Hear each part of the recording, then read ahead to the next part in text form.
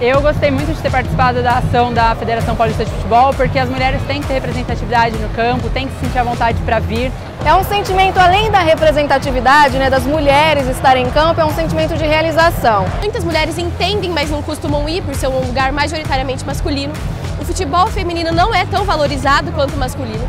Então uma ação como essa mostra a importância de nós frequentarmos os estádios, de nós assistirmos os jogos, de nós jogarmos. Eu tenho 29 anos, nunca pisei em um estádio de futebol, apesar de ser muito apaixonada por futebol. E eu acho que essa ação é incrível, porque aqui hoje nós mostramos que essa máxima de que mulher não entende de futebol caiu por terra.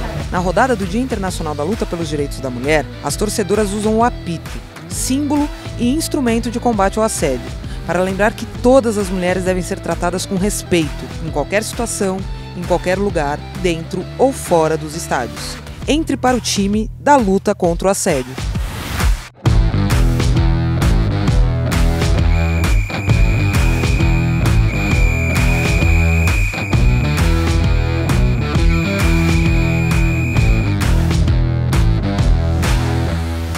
tem mulheres que amam futebol e faz parte da vida das mulheres. Então, o Elas no Estádio tem um impacto muito forte. A importância da ação, eu acho que é poder mostrar que a mulher pode ocupar qualquer espaço, seja dentro do campo, apitando, seja como jogador ou até na arquibancada. A mulher vai tendo mais representatividade, mais respeito e mais presença no futebol. A mulher gosta de torcer, a mulher gosta de futebol, gosta de gol e eu estou muito feliz de estar aqui hoje, podendo levar a voz a todas essas pessoas.